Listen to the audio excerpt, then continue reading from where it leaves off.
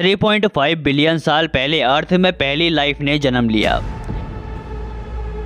वैज्ञानिक उन्हें माइक्रोब से कहते हैं। उस दिन से आज का दिन आने में एक लंबा समय लगा है। आज हम इंसान इतने डेवलप हो चुके हैं जिन्हें मालूम है सरवाइव कैसे किया जाता है, अपने पे आने वाले खतरे को किस तरह रोका जा सकता है। ह्यूमन इंटेलिजेंस जैसे जैसे बढ़ती गई, उसी तरह दूसरे आयाम, दूसरी दुनिया, एलियंस के होने की पॉसिबिलिटी भी बढ़ने लगी। ये माना जाता है की करोड़ों गैलेक्सीज के अरबों प्लैनेट्स में से कहीं भी एक ऐसी सभ्यता हो सकती है जो इंसानों से कई ज़्यादा इंटेलिजेंट हो। आप और हम उन्हें कहते हैं द एलियंस। It's. एलियंस तक मैसेज पहुँचाने का काम दो ढाई सौ साल पहले ही शुरू हो चुका था। बहुत सारे तरीके बताए गए उस समय के महान विद्वानों के द्वारा। किसी ने कहा, सारा डेजर्ट में एक बड़ा सा आग का रिंग बनाया जाएगा जो स्पेस में दिखेगा। किसी ने कहा बड़े बड़े जाइंट मिरर्स को धरती के हर कोने पे प्लेस किया जाए, ताकि सनलाइट इन मिरर्स पे से रिफ्लेक्ट होकर स्पेस में जाए और किसी भी तरह वो जो बाहर स्पेस में एलियन सभ्यता है, उन्हें पता चल सके की धरती पे भी जीवन है। पर ये काफ़ी नहीं होगा, हमें कुछ ऐसा चाहिए जो लाइट की स्पीड से भी तेज हो और एलियंस अगर हैं तो उनको भी सिग्नल जा पाए। फ़िलहाल अभी तक का एलियंस को ढूँढने का सफ़र ऐसा है जैसे सिंगल लड़कों को गर्लफ्रेंड ढूँढने का सपना होता है। हर बार लगता है अब उस तरफ़ से सिग्नल आएगा बट वहाँ से सिर्फ़ एक चीज़ आती है और वो है कुछ नहीं। और इसी इंतज़ार में हम पिछले दो ढाई सौ सालों से है बट अभी भी इंतज़ार रुका नहीं है। अभी बहुत सारी चीज़ें हैं जो मैं आपको बताने वाला हूँ। साल था 2015 कुछ एस्ट्रोनॉमर्स ने स्पेस की गहराइयों में कुछ वियर्ड नोटिस किया। उन्होंने देखा है कि स्टार 1400 लाइट ईयर दूर लगातार डिम कर रहा है। है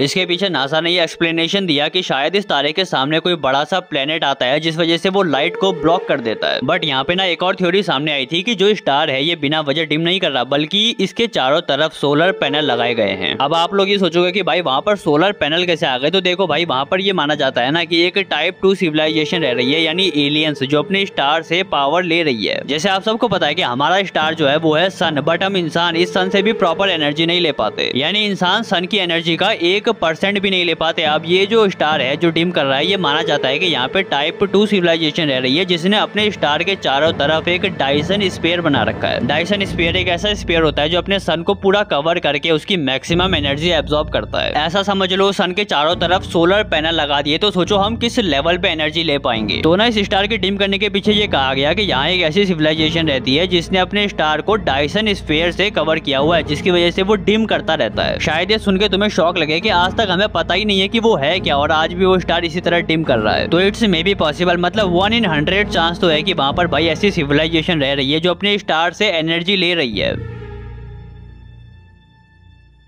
इनफाइनाइट पॉसिबिलिटीज में से एक पॉसिबिलिटी ये भी तो हो सकती है ना कि मे बी हम इतने इंटेलिजेंट नहीं है कि हम उनके भेजे हुए सिग्नल्स को मैसेजेस को डिकोड कर पाए। सिग्नल भेजने का तरीका सिर्फ़ लाइट या कोई साउंड नहीं हो सकता। मे बी जो बाहर है, वो इससे भी कुछ ज़्यादा एडवांस टेक्निक का यूज़ कर रहे हैं। न्यूट्रिनो पार्टिकल्स ऐसे पार्टिकल जिनका कोई मास नहीं होता, इनका फॉर्मेशन तब होता है जब एटम्स के अंदर के न्यूक्लियाई पास आते हैं या फिर दूर जाते हैं। तो मैं एक राज की बात बताता हूँ, ये इतने हल्के और अनडिटेक्टेड होते हैं की कई बिलियंस ऑफ़ न्यूट्रिनोस आपके थंब से होके चले जाएँगे और आपको पता तक नहीं चलेगा। एक रिसर्च में ये पता चला कि सन अर्थ की तरफ़ बिलियंस ऑफ़ न्यूट्रिनोस को इजेक्ट करता है और हमें पता भी नहीं चलता। एक तरह से गोस्ट पार्टिकल होते हैं, पूरे प्लेनेट के आर पार चले जाएँगे और किसी को भनक तक नहीं लगेगी की भाई यहाँ क्या हुआ। इसीलिए मे बी एलियन सभ्यता न्यूट्रिनोस का यूज़ कर रहे हो to send us mysterious messages